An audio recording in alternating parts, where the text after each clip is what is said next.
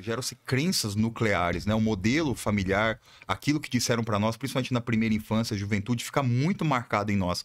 Tanto que, por exemplo, você... Isso é uma escravização, cara. É, é, é, é assim que nós funcionamos, né?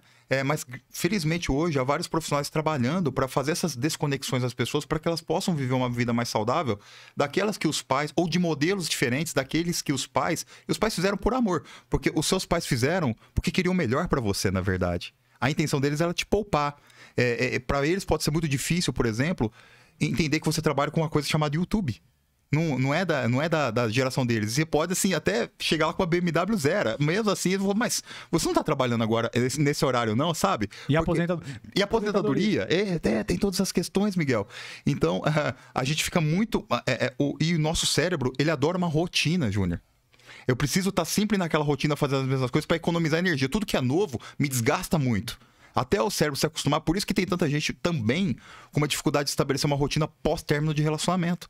Porque o cérebro, a psique, tá tão acostumada àquela rotina com aquela pessoa. Faz todo sentido. E no fim de semana é onde a pessoa mais sofre, porque era onde tava, é, e, e, e, não, e, ia naquele restaurante, ia naquela lanchonete, naquela casa noturna, naquele barzinho, e a pessoa fica. É porque o, o todo. Existe toda uma rotina já muito. E o cérebro adora uma rotina para poder poupar energia. Por né? isso que existe a chamada depressão pós-término. Porque acaba, acaba e acaba tudo do cara, que às vezes o relacionamento é a própria vida dele, ele não tem outra coisa. Exato. Cara... É, é. Quando o homem ele centraliza todo o afeto dele numa mulher, por isso que eu falo, com todo respeito, eu sou, sou um cara casado, a, a, a, mulher é uma consequência da vida de um homem. Quando ela faz se torna. parte. Ela faz parte. Exatamente. Quando ela se torna o centro da vida do homem, nem ela aguenta o sujeito.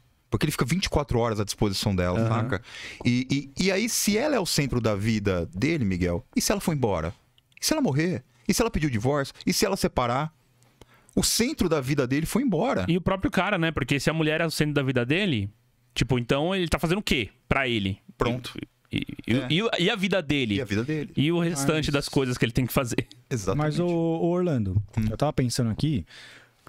É, aparentemente, cara, parece que para mim isso tá conectado com uma, uma orientação que o ser humano tem de herança genética de sempre buscar segurança.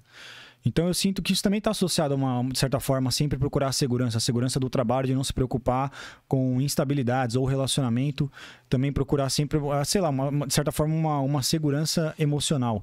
Então, como eu posso explicar, cara? Fica muito difícil o cara se desprender dessa, dessa conexão psíquica, né? Hum. Que sempre proporciona essa segurança para ele. Quando ele perde aquilo, de certa forma, ele sente que literalmente não há mais garantia e segurança nenhuma para ele se adaptar de novo a entender a realidade dele não vai ser tão fácil.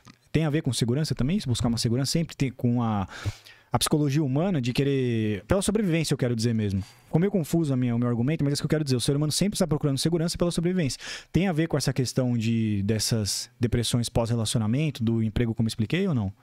Você não, consegue? não, com relação à, à, questão, porque tem muitas pessoas que vivem na insegurança. Por exemplo, grandes players empresariais, eles nunca têm muita muita segurança daquilo que eles estão fazendo, eles nunca têm muita estabilidade naquilo que eles estão fazendo. Então tem muito a ver também com uma certa é, configuração, uma certa configuração familiar. Hum. Tem pessoas, inclusive, em relacionamentos que têm determinadas questões psíquicas mais profundas. É, que elas não conseguem, olha que interessante, elas não conseguem ter um relacionamento tranquilo. Se o relacionamento não fosse sinônimo de guerra e inferno, a pessoa acha que não está no relacionamento. É também uma configuração muitas vezes formada dentro do seio familiar que ela carrega, Miguel, essa imagem. Tá. O que é um relacionamento para você? O relacionamento para mim tem que ter muita treta, tem que ter muita montanha russa. A mulher é muito viciada nisso, ó. É. Nessa instabilidade emocional. Então, por exemplo, Aquela Bruna Marquezine já falou sobre isso, inclusive, tá? É, se, se essa mulher, ela encontra um cara, um cara mais estável, um cara mais tranquilo, ela acha que tá faltando alguma coisa. Ah, ele é muito parado. É. Por isso que muitas vezes ela volta até com aquele ex que gerava essa instabilidade. Não porque ela é mal, mas porque ela, ela é literalmente viciada nisso. É um vício em serotonina, por exemplo. Exato. Exatamente. Ela tem esse vício aqui. Quando esse, esse vício já é configurado nela há muito tempo. A segurança também produz serotonina? Porque às vezes o cara que também procura um relacionamento estável, isso produz serotonina.